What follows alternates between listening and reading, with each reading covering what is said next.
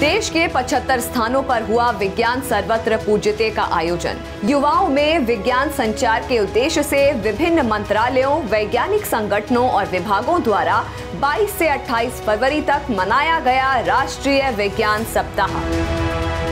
विज्ञान सर्वत्र पूजते ने हर पीढ़ी में किया विज्ञान का संचार। प्रदर्शनियों में पहुँचे दर्शकों ने ज्ञान विज्ञान के साथ साझा किए अपने अनुभव। विज्ञान लोकप्रियकरण में सहायक विज्ञान पुस्तक मेला भी आयोजित। मेगा बुक फेयर रहा विज्ञान सर्वत्र पूजते कार्यक्रम का मुख्य आकर्षण। विभिन्न भारतीय भाषाओं में विज्ञान पुस्तकों का प्रदर्शन। और राष्ट्रीय विज्ञान सप्ताह में कला और विज्ञान का दिखा संगम। नाटकों, लोक कलाओं और कविताओं के द्वारा वैज्ञानिक उपलब्धियों को पेश कर समाज में वैज्ञानिक सोच को बढ़ावा देने का प्रयास।